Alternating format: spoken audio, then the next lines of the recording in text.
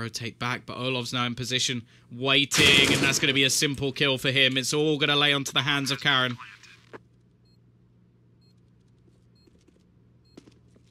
Twist, already being spotted. Oh, this is great.